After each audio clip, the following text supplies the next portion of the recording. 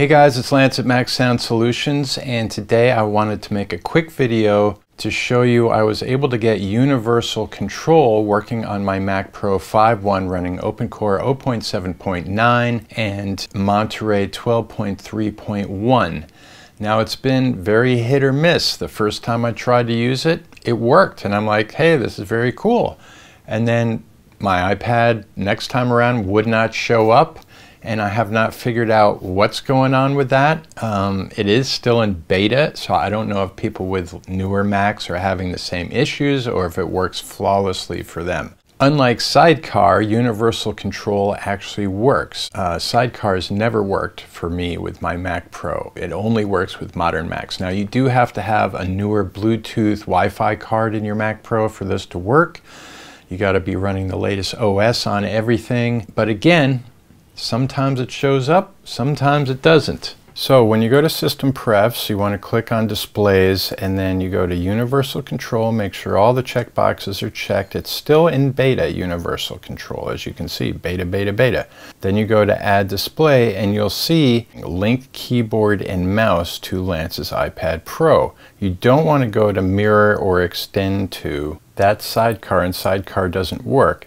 But sometimes you won't see your iPad show up. You'll just see your three monitors there on the screen, no iPad, and it won't show up in the drop-down menu either. So when you first bring your iPad near your Mac, it will show up on this list, hopefully, under Link Keyboard and Mouse. And you can see there's no checkbox by it yet, and you don't see it on the screen there next to my three other monitors. But the first time you mouse over to the iPad, you have to sort of break through that membrane or whatever you want to call it, the barrier, and it shows you your little Mac Pro icon trying to get into the iPad with the mouse. It, you break through that, and then the check mark then shows up under Link Keyboard and Mouse, Lance's iPad Pro. The check mark will be there, and you can now move the mouse freely between your Mac and the iPad. And here I am dragging a file from my desktop to the iPad's files and then grabbing a file from the iPad and dragging it back to my desktop. So universal control is more convenient than using AirDrop. And here I am just uh, going to grab my, put my mouse over there in notes and I'm going to do some typing. So, you know, your keyboard works just like it's attached to the iPad.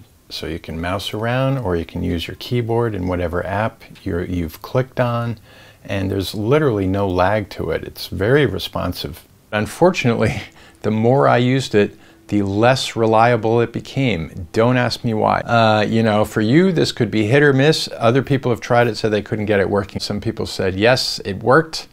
So, you know, I hope Apple fixes this, but maybe it's just, you know, the fact that we're running OpenCore and we're using the modern operating system on the old computer that it's just not going to work properly for us.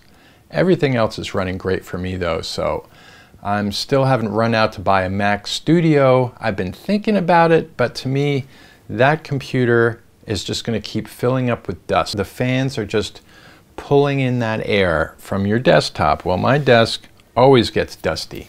So over the course of two to three years, that thing is going to be filling up with dust and you have to break the seal on the bottom to get the screws off and to get inside there to clean it out.